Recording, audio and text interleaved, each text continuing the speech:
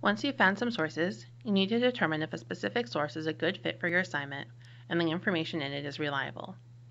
Do you remember the types of sources tutorial you took recently? If you don't, you may want to review it.